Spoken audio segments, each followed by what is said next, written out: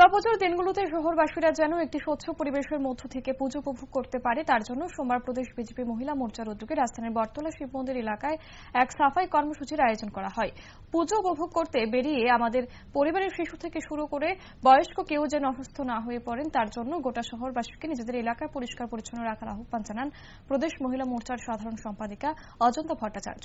আগামী দিনে শহরের আরও অন্যান্য স্থানে প্রদেশ মহিলা মোর্চার উদ্যোগে এই ধরনের কর্মসূচি অনুষ্ঠিত করা হবে বলেও তিনি জানান।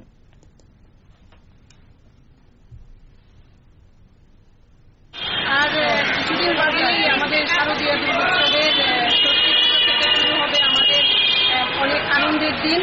আর এই আনন্দের মধ্যেও আমরা যাতে স্বচ্ছতাকে মাথায় রাখি, স্বচ্ছতাকে যাতে চিন্তা করি, সারা শহর পরিষ্কার পরিচ্ছন্ন থাকুক। যারা আমরা পুজোতে বেরোবো, আমাদের সঙ্গে আমাদের ছেলে মেয়েরা থাকবে, বয়স্ক আমাদের পিতা মাতারা থাকবেন সবাই যাতে পরিচ্ছন্নতার মধ্যে আনন্দ উপভোগ করতে পারে। এর জন্য রাজ্য মহিলা মোর্চার তরফে স্বচ্ছ ভারত অভিযানের অঙ্গ হিসেবে আমরা আজকে বটতলা শিব মন্দির এবং শিব মন্দিরের আশপাশটায় স্বচ্ছ ভারতের কার্যক্রম করার জন্য আমরা উদ্যোগ নিয়েছি এবং সেই হিসেবে আমাদের রাজ্য মহিলা মোর্চার সমস্ত দিদিরা সবাই সকাল সকাল চলে এসছেন এবং আমরা আজ- আজকে আমরা এই অংশটা করেছি।